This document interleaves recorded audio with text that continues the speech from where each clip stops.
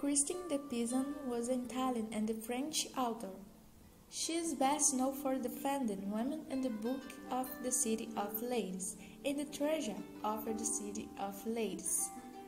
Christine was a prominent moralist and political thinker in medieval France. She worked as a court writer addressing literary debates during the reign of Charles VI. Her books of advice to princes and knights originated and printed out in the 16th century. Feminism is a range of social and political movements and ideologies that share a common view to define, establish, and achieve the political, economic, personal, and social equality of both sexes. Christine de Pizan was born on 1364 in Venice, but her family moved to France when she was four years old, where Christine started to learn literature and other languages. Her father was a doctor and astrologist he worked to the French royal family. Christine had an enjoyable childhood and an excellent education. Her parents encouraged her to study and have a good education.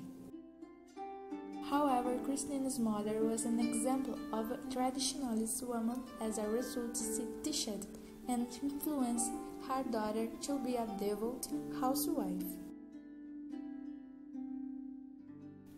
Christine got married when she was 14 years old and she had three children.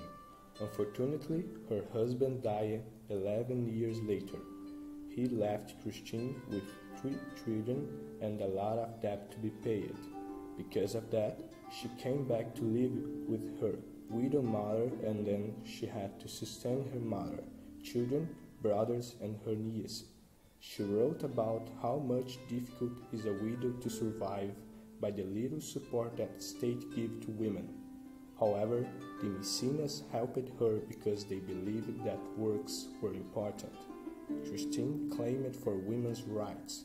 She believed that women deserve a good education and acknowledgement. Her first production was completed in the Livre de Cent Ballades. Christine criticized Jean de Meun's poems affirming it humiliated women. She contested him with smart arguments in a royal audience. Doing that, she promoted her thoughts, showing people that she was a women writer defending women position in society. Researchers are not sure about her death.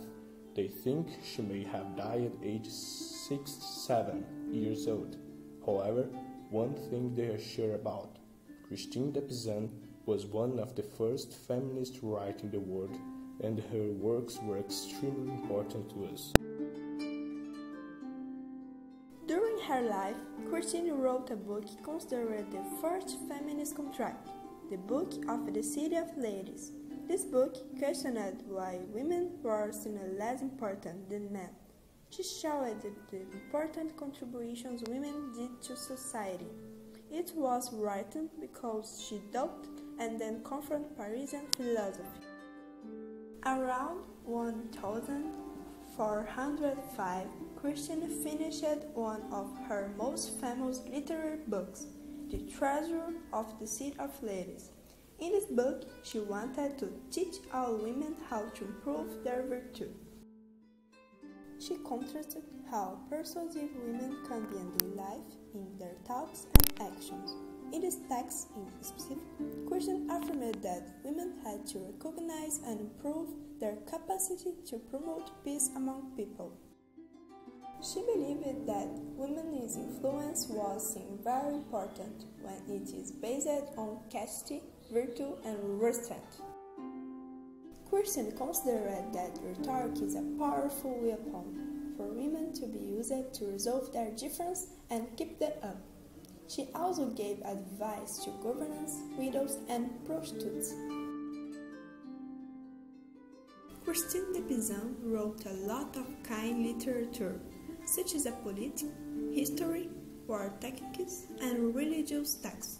Christine's works were strongly based on a positive representation of women which encouraged them to have actions in their lives.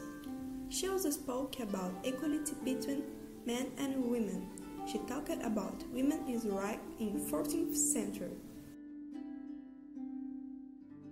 Over the last decades, research like Charity Cannon Willard, Earl Jeffrey Richard, and Simone de Beauvoir have taken up Christine's works to the top of the list because her books show us how women used to live in the 14th century, since the large women who lived in castles, even the women of commerciants and peasants, poorer people.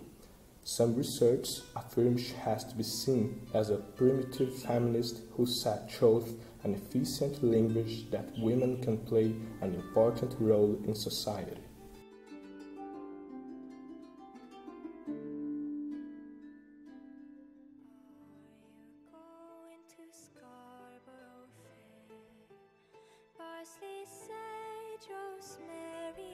How many women are there who, because of their husband's harshness, spend their weary lives in the bond of marriage in greater suffering than if they were slaves among the Saracens.